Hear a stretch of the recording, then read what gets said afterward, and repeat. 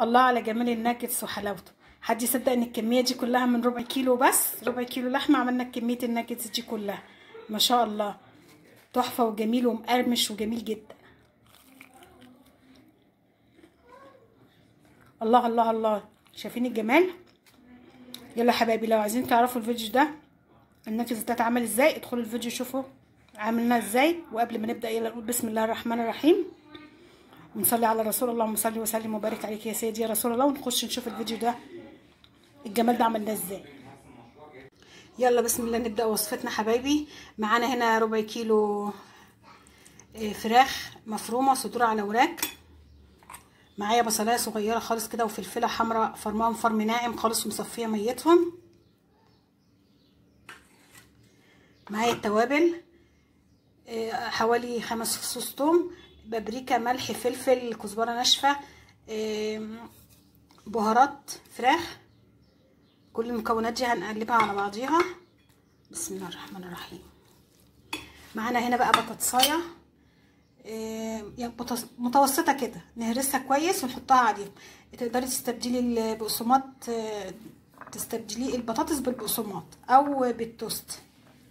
أنا عملته قبل كده بالبقسماط فقلت أجربه المرة دي بالبطاطس. نهرسها بقى كده كويس حبايبي ونقلب كل المكونات على بعضيها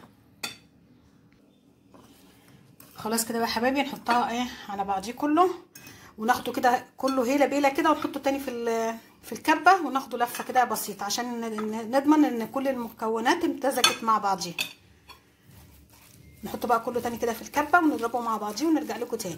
البطاطساية ما تكونش كبيرة قوي. يعني ربع كيلو ياخد بطاطساية وسط كده. أو ثلاث قطع توست. يلا نضربها حبايبي كده ونرجع لكم نشوف هنكمل بقية وصفتنا إزاي. كده حبايبي خلاص كده فرمته كله مع بعضيه وبيبقى إيه طري شوية كده وملزق نوعا ما. إيه هنجيب بقى أي صينية عندك. هندهنها زيت ونفرده فيها. تقدري تشكليه زي ما انت عايزة بأي شكل حباه. بس أنا هعمله المرة دي في صينية وهنقطعه بالسكين. إيه ممكن تستبدلي البصل والثوم بال powder. أنا عاملاه fresh لأن ده أنا هعمله على طول مش هخزنه. لو انت هتخزنيه استخدمي البصل powder والثوم powder. نفردها بقى كويس كده؟ بسم الله الرحمن الرحيم. ونحطه ونحطه فيها. نحطه بقى كله كده حبايبي تقدري تفرديه كده. بايديك أو بالسباتيولا كويس تفرديه كله خليه كله متساوي.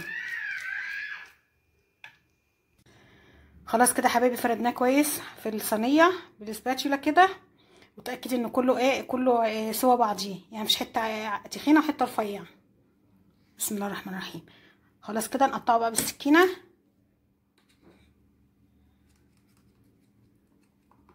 مربعات كده.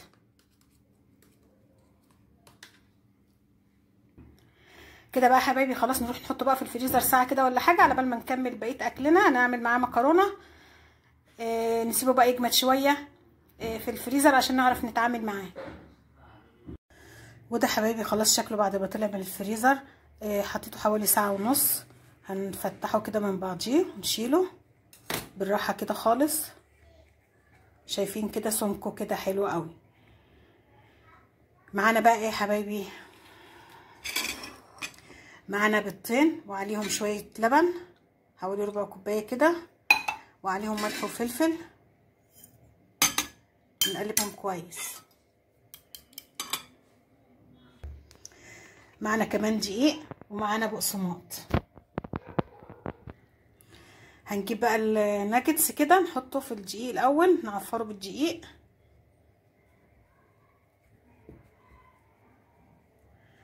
وبعدين نحطه في البقسماط. في نحطه في البيض. بسم الله الرحمن الرحيم. ونحطه على البقسماط.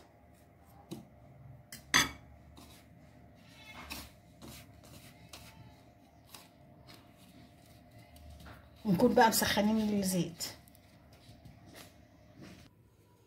نعمل كمان واحدة. نعفرها كويس في الدقيق وبعدين نحطها في البقسماط في ال... برضو بتلخبط. في البيض لا إله إلا الله. بسم الله الرحمن الرحيم. طول ما انت واقفة كده سبحي واذكري ربنا. وبعدين في البقسماط.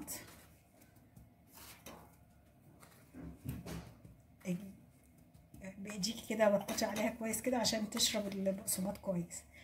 ونروح على الزيت على طول. طاسة بقى وفيها زيت غزير كده وعلى نار متوسطة ونحط الناجتس. بسم الله. بسم الله.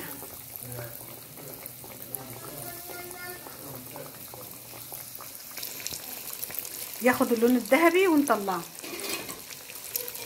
بسم الله الرحمن الرحيم. ياخد اللون الذهبي الجميل ده ونطلعه بسم الله الرحمن الرحيم.